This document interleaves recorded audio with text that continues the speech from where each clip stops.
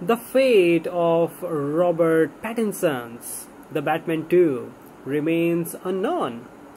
Robert Pattinson is riding high on the victory of his debut as the Batman. While the studio has approved the sequel for release on October 3, 2025, certain glitches may occur. For one thing, the actors' union SAG-AFTRA is now on strike, putting the production on hold.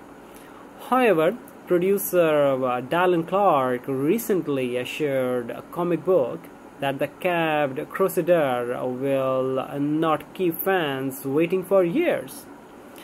I will go on record and say that uh, it will be less than five years. He was quoted as saying, uh, following the following the success of the DC picture, Matt Reeves promised fans that he was hard at work on the script.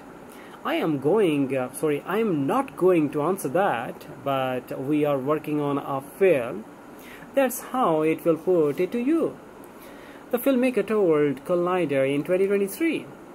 He went on to say, uh, We are deep in it, and uh, my partner and I are writing Matt, uh, Mattson Tomlin, and I are writing, and it's uh, it's uh, it's really exciting, and uh, I am really excited about what we are doing.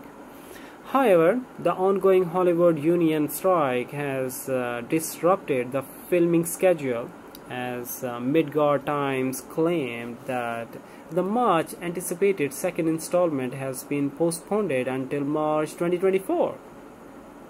However, the the, Batsman, the Batman's uh, release date remains unaltered, which is uh, which is encouraging